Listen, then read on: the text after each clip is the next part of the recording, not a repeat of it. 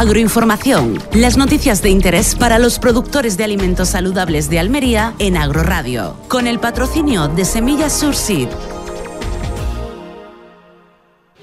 Semillas Sur Seeds, empresa obtentora de variedades de pimiento netamente almeriense, siempre al lado del productor de pimiento para atender sus necesidades en los desarrollos genéticos de los cultivos de pimientos. Semillas Sur Seeds, investigación y desarrollo para el agricultor almeriense. José Antonio Escobosa, redactor de Agroradio. La agricultura bien contada.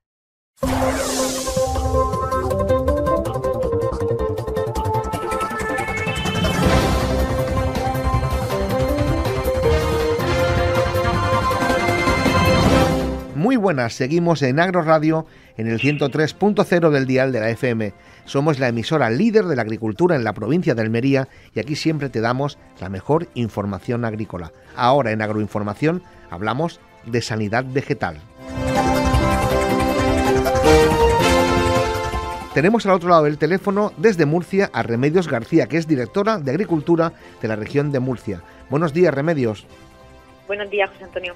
Explícanos esto, la mesa de la sanidad vegetal para detección precoz de plagas y proteger cultivos. Esto es muy interesante. Sí, eh, bueno, ya llevamos mucho tiempo trabajando con el sector. Como sabrás, eh, cada día son menos las medidas fitosanitarias que tenemos para combatir las plagas.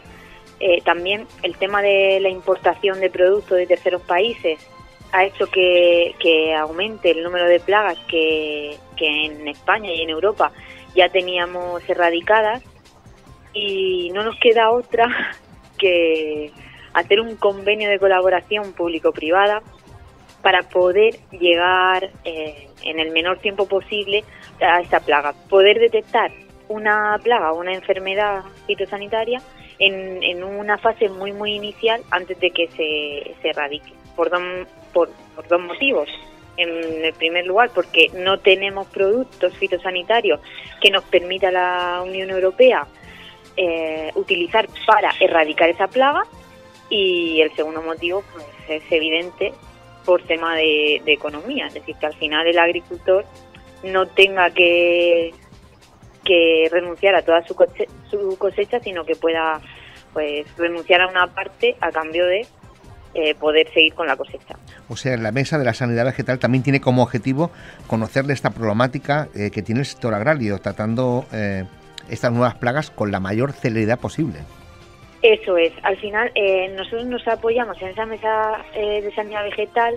Hay empresas de venta de productos fitosanitarios, eh, están también los técnicos de campo, los colegios profesionales, las organizaciones agrarias, que al final son los que tienen información enseguida de la plaga o el distribuidor de productos fitosanitarios, en el momento que le compran un producto que es para una plaga determinada, sabe que puede haber un, problema en, esa explotación. Claro, entonces, pues, eh, pues hacer un sistema de avisos para que eh, desde la administración, con los recursos que tenemos, que son recursos muy, muy limitados, pues podamos ir al foco.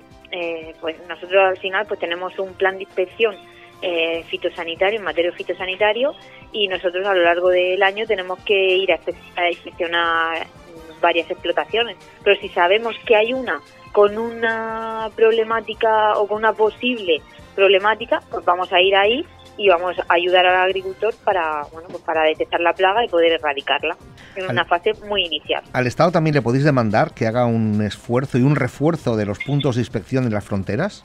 Eh, eso lo llevamos demandando eh, pues yo creo que durante el año 2020, sobre todo en la campaña de los cítricos, que ha sido una campaña muy mala a nivel regional, eh, pues lo llevamos demandando pues al final es simplemente que pongan en práctica las normas que ellos mismos han creado, que estamos viendo pues que no es el caso. Eh, por ejemplo, en el, en el puerto de Cartagena está dejando de entrar mercancía por los controles fitosanitarios que se hacen, entonces entran por otros puertos europeos. Claro, es que debe haber una unidad de criterio de todos los puertos. Eso es, eso es. E, eso es muy importante porque, como te digo, hay productos fitosanitarios que nosotros ya no podemos utilizar por, porque Europa los ha prohibido y sin embargo eh, entran plagas que ya eh, teníamos erradicadas de terceros países porque ellos pues, bueno, pues sí tienen la posibilidad de utilizar esos productos. También vais a poner en marcha una nueva herramienta que contendrá información sobre los organismos nocivos detectados, esas novedades legislativas, así como aspectos divulgativos en el uso de buenas prácticas agrarias. Sí, eh, estamos viendo que la legislación está cambiando, estamos en un momento de mucho cambio, la legislación cambia a una velocidad brutal y el agricultor está dedicado a su tierra, eh, no tiene tiempo de ponerse a estudiar. Entonces, pues bueno, el objetivo de, de esta mesa también es acercar al agricultor, al agricultor esa normativa y en un lenguaje que él pueda entender y que sepa exactamente qué tiene que hacer para poder cumplir con la normativa. ¿Qué organizaciones agrarias están en este proyecto? Todas, eh, Asaja, COAC y UPA. Todas las organizaciones agrarias están apoyando esta mesa de trabajo.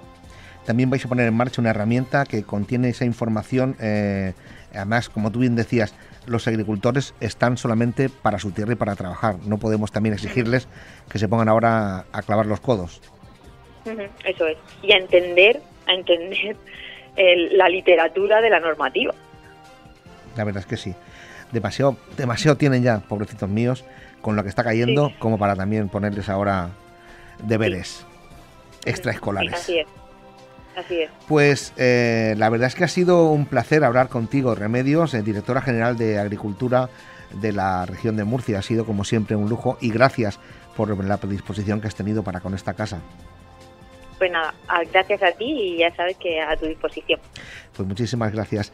Ya saben ustedes que pueden seguir toda la información agrícola en nuestras redes sociales como Twitter, Facebook o también nuestra web agrodifusión.es. En el control de sonido ha estado como siempre Andemus No y al micrófono este que te habla José Antonio Escobosa de Obregat. Volvemos en una hora con más información.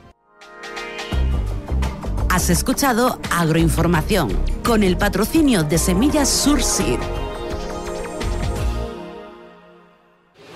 Semillas Sur Seeds, empresa obtentora de variedades de pimiento netamente almeriense, siempre al lado del productor de pimiento para atender sus necesidades en los desarrollos genéticos de los cultivos de pimientos. Semillas Sur Seeds, investigación y desarrollo para el agricultor almeriense.